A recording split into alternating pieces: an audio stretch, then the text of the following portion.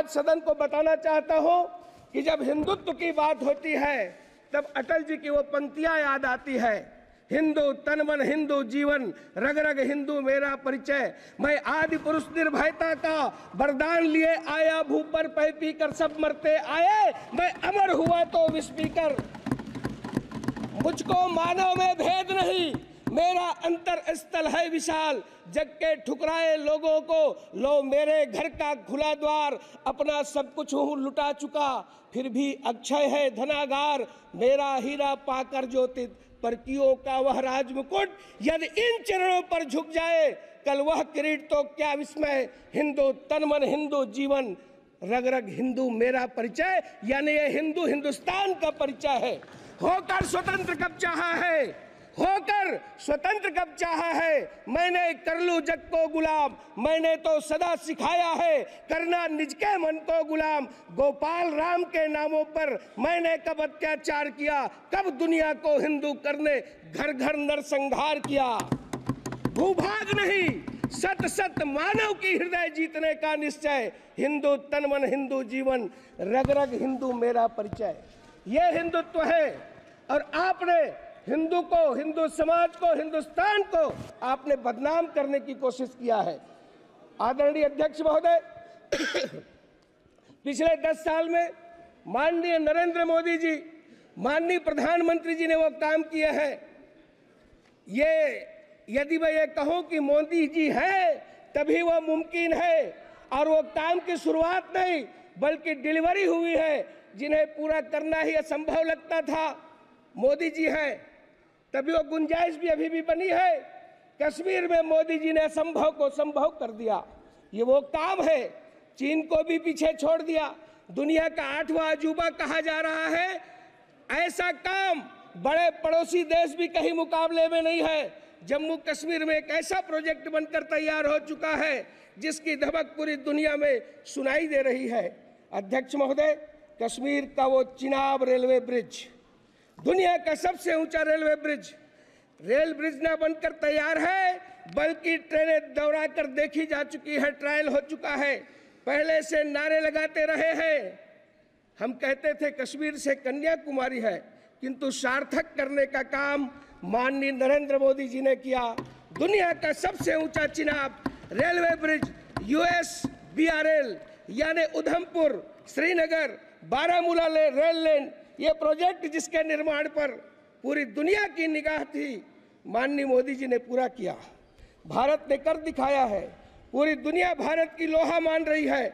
अध्यक्ष महोदय, नदी की सतह से स्कूल की ऊंचाई तीन सौ उनसठ मीटर है। पुल एफिल टावर से भी 35 मीटर ऊँचा है। जहाँ लोग फ़ोटो खिंचाने जाते हैं और बड़ा नाम लेते हैं, उससे भी 35 मीटर ऊँचा है। हमारे देश के कुतुब मीनार से ये पाँच गुना है। माननीय अध्यक्ष महोदय मोदी जी ने हर मुश्किल को संभव किया है। ठीक वैसे ही जैसे कोरोना काल में महामारी में अंतर्राष्ट्रीय बीमारी पर पूरी दुनिया जी मैं बस दो मिनट में खत्म करता हूँ। त्राही त्राही बची थी। विदेश के लोग कहते थे कि भारत में इतनी बड़ी आबादी है क्या होगा? किंतु इस कोरोना के तूफ़ान से भी राष्ट्र की कश्ती को सुरक्षित बाहर निकालने का काम यदि किसी ने किया तो वह है इस देश के प्रधानमंत्री नरेंद्र मोदी जी। कोविशील्ड, कोवैक्सीन का निर्माण ही नहीं कराया, संसाधन मुहैया कराए, लैब के वैज्ञानिकों को प्रोत्साहित देते रहे। देश में 300 करोड़ से अधिक डोज लोगों को वैक्सीन मुहैया कराया। इतना ही नहीं, दुनिया के देशों को भी सब प्रकार की उन्होंने सुविधाएँ दी। इस पीरियड में आत्मनिर्भर भारत के मंत्र को नहीं छोड़ा। अध्यक्ष महोदय, उस तरफ़ बैठने वाले नहीं चाहते। ये चाहते ही नहीं थे, ये वैक्सीन भारत में निर्मित हो। अरे, ये तो फाइजर की वकालत कर रहे थे। विदेशी कंपनियों की वकालत कर रहे थे। सेंट्रल विस्टा का भी ये निर्माण नहीं चाहते थे। ये जीएसटी का कलेक्शन नहीं चाहते थे। ये डर्टी पॉलिटिक्स इनके रक्त में है। माननीय प्रधानमंत्री जी, हार नहीं मानने वालों में से है। उन्होंने गतिरोधों को दूर किया। नए ऑक्सीजन प्लांट मुफ़्त में टीकाकरण ऑक्सीजन रेल ने ताकत दी। नए वेंटिलेटर का निर्माण, नए हॉस्पिटल का निर्माण। देश में कोविड टेस्टिंग सेंटर एक हुआ करता था। हज़ारों कोविड सेंटर स्थापित किए। पीपीई किट नहीं बनता था। आज हम लार्जेस्ट प्रोड्यूसर हुए। ऑक्सीजन एक्सप्रेस चलाए कॉरिडोर बनाया गया। एयरपोर्ट ने टैंकर लिफ्ट किए क्रायोजेनिक से लाने की बात की गई। और इसमें पीएम केयर फंड की बहुत महत्वपूर्ण भूमिका रही। माननीय अध्यक्ष महोदय 80 करोड़ लोगों को मुफ़्त अनाज देने का काम किया। कहा तो तय था। मैं ये कहूँगा कि आज जिस प्रकार से गरीबों की केवल चर्चा करते रहे, केवल चर्चा करते रहे, किंतु यदि गरीबों की मजदूरों की और अंत्योदय की यदि कोई सरकार हुई तो माननीय प्रधानमंत्री नरेंद्र मोदी जी की सरकार हुई, जिस पर आज देश पूरा गर्व कर रहा है। आपने मुझे अवसर दिया।